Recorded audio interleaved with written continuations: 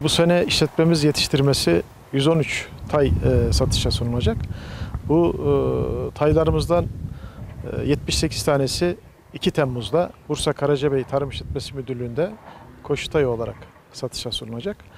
E, daha sonra e, 25 tane de 13 Eylül'de e, ortak satış. Yine Bursa Karacabey Tarım İşletmesi Müdürlüğü'nde yapılacak. E, daha sonra e, 14 Eylül e, de e, İstanbul Veli Efendi'de e, elit tay satışımız gerçekleştirilecek. E, taylarımız e, bu sene